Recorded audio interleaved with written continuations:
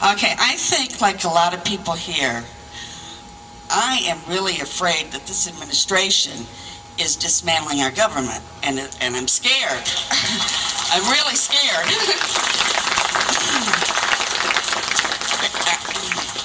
I know all of us aren't happy with the health care and all that stuff. My question is on guns.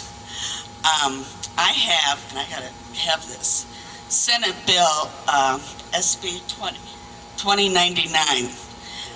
You know, you know what I'm referring to? Okay. Well, what it is, is it's, uh, the guns that we own are to be itemized on our 2009 return. Excuse me. Pardon me? Well, you're going to be taxed $50. You have to, you might be fingerprinted. And I just feel this is another way that they're chiseling away at us. Pretty soon, we won't be able to protect ourselves. So I'd like to know your feeling on this. But just recently, this week, I've been watching the Glenn Beck Show on the Fox News Channel, and I was... I was very disturbed to find out that Congress isn't the one that writes these bills, and that these bills are being written by a bunch of radical czars that are on President Obama's team. And I would like to know if you're aware of that, and if you intend to read the entire bill. I will read that. Going back to the question about who writes these bills, uh, the staff up on the Hill writes these bills. All committees have, what's the, well, anyway, the bill, uh, this, the, the, the staff on the committees put these bills together. And, and they're the ones that bring, bring these bills forward. And again, there's, there's, uh, well, What's that? Oh, what, I don't, I don't know what, what involvement the czars had, had with this bill. I do know that the administration, I do know that the president's office did have input on this bill. Now, I don't know whether specifically the czars, but I know they were in contact with the committee staffs that wrote this bill.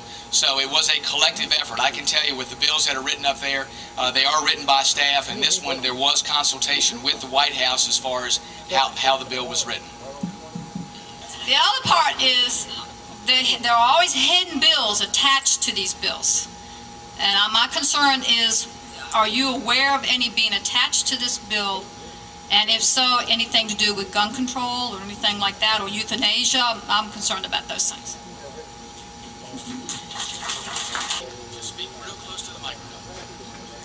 Hi, um, I'm 13, and I briefly read over the um, breakdown of the uh, Obama's healthcare plan, and towards the end, I saw an article that was interesting to me.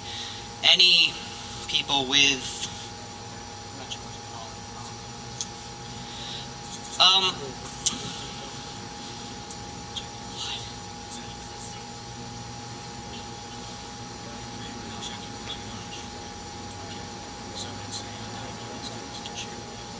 with items such as diabetes testers and so on, they will put GPS systems in the so diabetes tester, and I just wanted to know your view on that.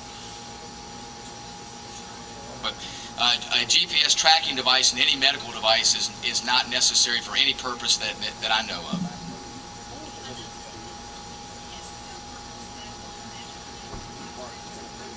Yeah, it's, it's called a, a National Medical Device Register.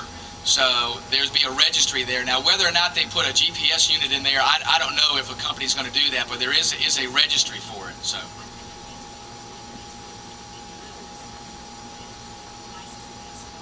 Okay.